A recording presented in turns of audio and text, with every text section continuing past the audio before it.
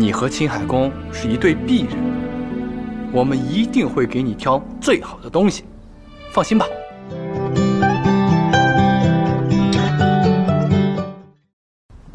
牡丹姐姐，小七，你来的正好。小方大人，参见殿下，施主事。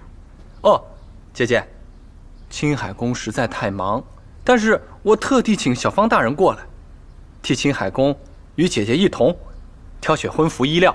是臣唐突了，臣以为只是挑选平时的布料和装饰，嗯，还是让师傅来吧。啊，小芳大人，你是青海宫最喜欢的徒儿。定知道他的喜好，你来选是一样的。帝姬殿下说的对呀，小芳大人自幼跟随青海宫，小芳大人所选，青海宫必定满意呀。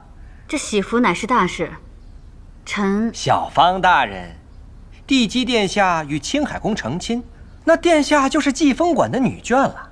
先前你与师傅亲如一家，再过些时候又得到帝姬殿下的照顾。小方大人素来聪颖，应该多多出力，与帝姬府常来常往啊！那臣便唐突了。行。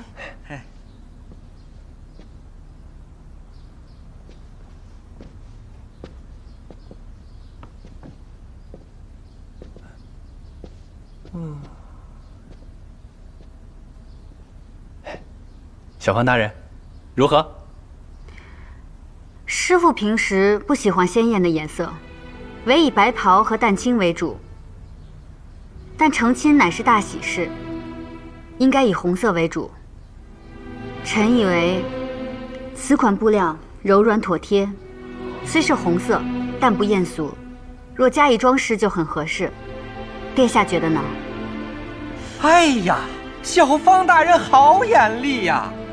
这是咱们中州上好的锦缎。它的产地正是青海宫的故里流觞，如此甚好。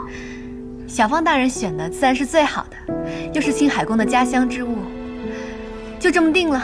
奴婢遵命，奴婢这就把布料送到灵锦司去。奴婢告退了，告退了。哎呀，小芳大人。今日多谢你了，把我最好的茶拿出来。哎，不用不用，牡丹姐姐，茶我们就不喝了，我们还得去挑玉器、竹器、木器，嗯，好多事等着我们忙呢，样样都离不开小芳大人。姐姐，你和青海公是一对璧人，我们一定会给你挑最好的东西，放心吧。如今为了这大婚，便偏劳你们了。海师，等这一阵子忙过去，我定然同你师父一起，好好谢你。帝姬客气了。